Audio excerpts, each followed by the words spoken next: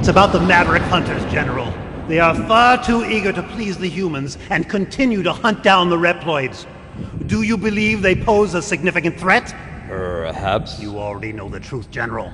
Their sole mission has been to destroy any Reploids who fail to do as the humans order. Hmm. It's in your best interest to stop them now, before they turn on you.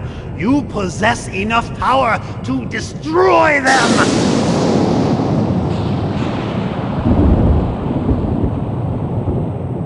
You are dismissed. What? I will not betray the humans. Remove yourself from my sight. My business with you has concluded. Very well. But you will change your mind soon, I assure you.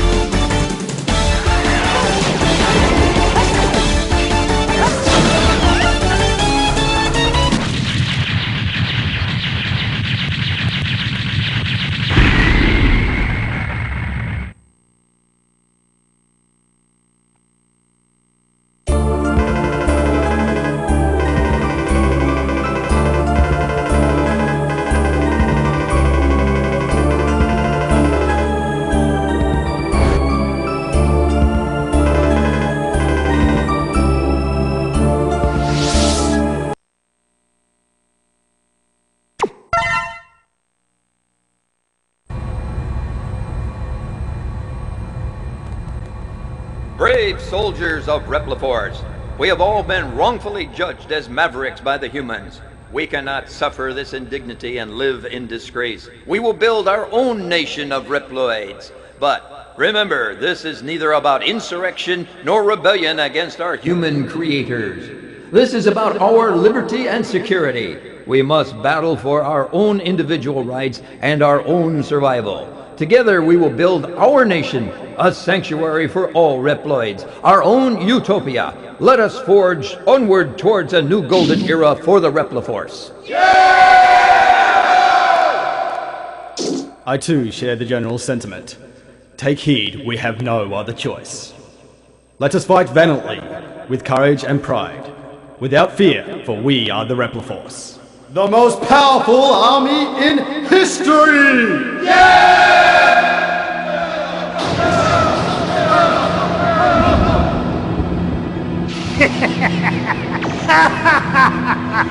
The General has finally taken action. And now, my Maverick Hunters, what will you do?